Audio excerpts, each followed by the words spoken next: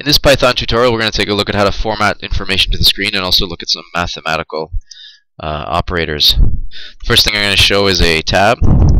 So here's a tab. So that would just be outputted to the screen, but if I go backslash t, then it will actually leave a tab right in there. So about five or six spaces.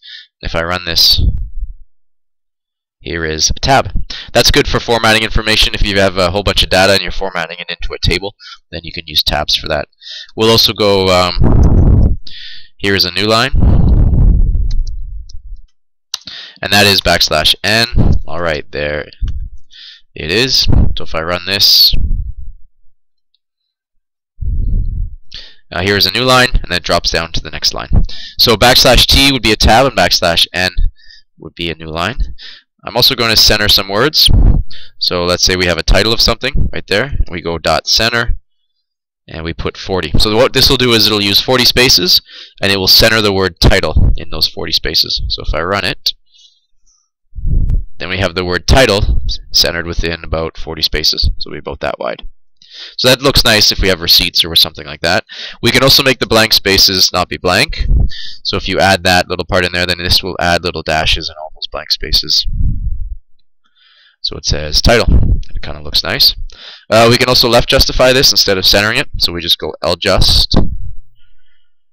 And I'll copy this and show you the difference. We'll do right justified as well on two different lines. So there you've got left justified and then right justified. So you can use that to make receipts look a little bit nicer, just have your screen output look a little bit nicer. I'm going to show you now some mathematical operators. So let's say we have things like this, 7 plus 2, 7 minus 2, 7 times 2. We can even do the, uh, the exponents. So 2 asterisks would be 7 to the exponent 2, like 7 times 7. So if we run this program, we get 7 plus 2 is 9, 7 minus 2 is 5, 7 times 2 is 14, and 7 to the exponent 2, so 7 times 7 would be 49. Now I didn't do division because division is a little different. So there's a few different divisions that we can do. First one I'll show you is uh, with decimals. 7.0 divided by 2.0. The next one will be, let's just go 7, and we'll use two forward slashes. And then we can also do 7 modulus 2. So what will the results all look like? I'll show you here as we run this. So 7 divided by 2 with decimals and 1 forward slash, that just results in the decimal number. So 7 divided by 2 straight up is 3.5 with decimals.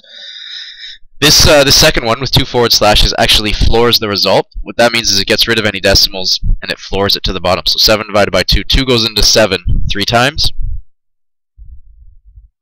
And it just gets rid of any decimals. And then finally, the modulus division. This will keep track of remainders. So 7 goes, or 2 goes into 7 three times. 3 times 2 is 6, so that means there's a remainder of 1. And these will be useful as we do, um, well, the modulus by 2 as we do even and odd numbers, but also as we try to figure out some other problems. Um, these different divisions will be will be very useful. So those are that's a little bit about formatting to the screen and some divisions and multipliers and things like that.